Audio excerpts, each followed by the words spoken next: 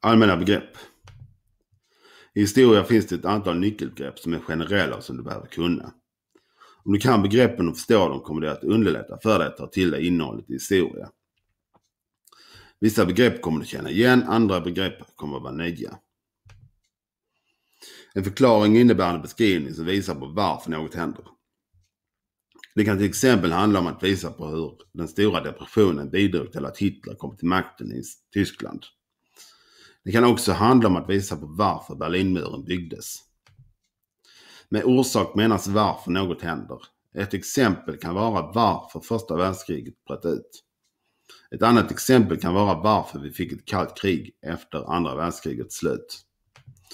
Med konsekvens menas något som följer av en viss handling. Ett exempel är att om man begår ett brott så kan böter eller fängelse bli konsekvensen av brottet. Ett annat exempel är att många miljoner civila och soldater dog som en konsekvens av första världskriget. Man kan använda historia i sin vardag till exempel för att argumentera för något. Ett konkret exempel är hur nazisternas agerande under andra världskriget visar på vikten av varför det är så viktigt att stå upp för demokrati, mänskliga rättigheter, frihet, alla människors lika värde och rättigheter. Wikipedia definierar kronologi som citat, kronologi är läran om tidsindelning och tideräkning, slut citat.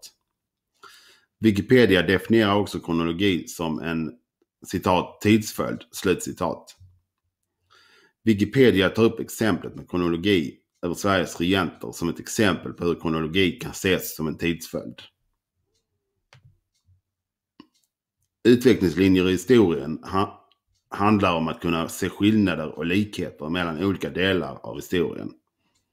Man kan till exempel titta på likheter och skillnader mellan politik, migration och levnadsvillkor under olika delar av historien.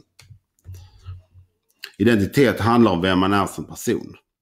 Faktorer som till exempel kan påverka identiteten är levnadsvillkor, uppfostran, umgänge, sociala kontakter och hur man uppfattas av omgivningen. Levnadsvillkor kan beskrivas som de villkor man lever under. Det kan till exempel handla om under vilka villkor som bönderna levde sina liv under 1800-talet. Men det skulle också till exempel kunna handla om hur civila hade under de två världskrigen på 1900-talet.